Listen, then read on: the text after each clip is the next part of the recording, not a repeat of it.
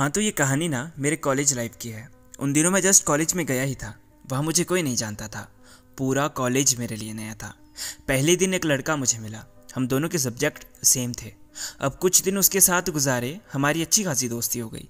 चलो उसका नाम इस वीडियो में शैम्पू रख देते हैं। हाँ तो शैम्पू और मेरी अच्छी दोस्ती हो गई। पर कुछ दिनों के लिए वो गाँव चला गया। इसलिए कॉलेज नहीं आया। मुझे बड़ा अकेला फील होने लगा। शैम्पू का भी मेरे सिवा कोई दोस्त नहीं था, मेरा भी शैम्पू ही दोस्त था। अब हुआ ये कि इन बिटवीन मुझे एक और लड़का मिल गया। उसके साथ भी अच्छी दोस्ती हो गई। उसका नाम टेंपू रख लेते हैं। हाँ तो जब शैम्पू वापस आया तो मैंने उसकी और टेंपू की बात करवाई। अब हम तीन दोस्त थे, मैं, शैम्पू और टेंपू। हम तीनों की दोस्ती बड़ी लाजवाब थी, मुझे सब अच्छा लगता था। हम साथ में बंक मारते, घूमने जाते नए नए प्लेसेस एक्सप्लोर करते, मुझे बहुत सही लगने लग गया था। हमारा व्हाट्सएप ग्रुप भी बना था इंस्टा फेसबुक पर हम सेल्फी अपलोड करते थे। साथ कॉलेज जाते, एक दूसरे का मज़ाक उड़ाते मतलब प्रॉपर एक अच्छी खासी दोस्ती हो गई थी। हालाँकि शैम्पू की एक गलत आदत थी, वो नशा थोड़ा ज़्यादा करता था। मुझे इससे कोई दिक्कत नहीं थी उसने कई बार हम दोनों को ऑफ़र भी किया, लेकिन हम दोनों मुकर जाते थे। समय चलता रहा और एक दिन उनका दारू पीने का प्लान बन गया।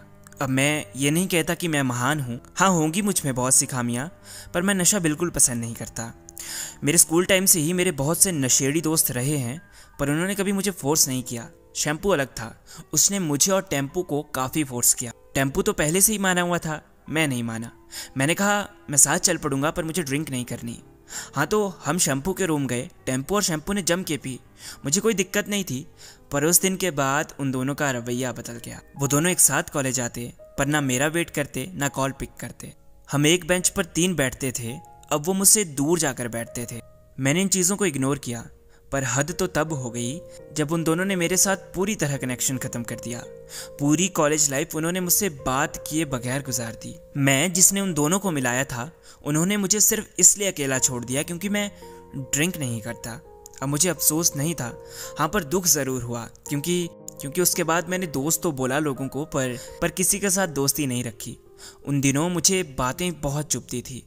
जब वो क्लास की लड़कियों के साथ मिलकर मेरे पीठ पीछे मेरी बातें करते थे, मुझमें कमियाँ निकालते थे, हर चीज़ मुझे चुपती थी। अच्छा फिर फाइनल ईयर में शैम्पू को कॉलेज से रेस्टिकेट कर दिया गया। वो ड्रिंक करके कॉलेज आता था। फिर टेंपू मेरे क्लोज आया, पर मैंने उतनी बातें नहीं की। एक फैक्ट की बात यह भी है कि शैम्पू मुझे साल में एक दो बार अभी भी मैसेज करता है, पर सिर्फ़ पैसे मांगने के लिए। ये मेरी रियल लाइफ स्टोरीज है। अगर आप और भी के एस की कहानियाँ सुनना चाहते हैं तो कमेंट में ज़रूर बता देना और सब्सक्राइब कर देना अगर नए हो।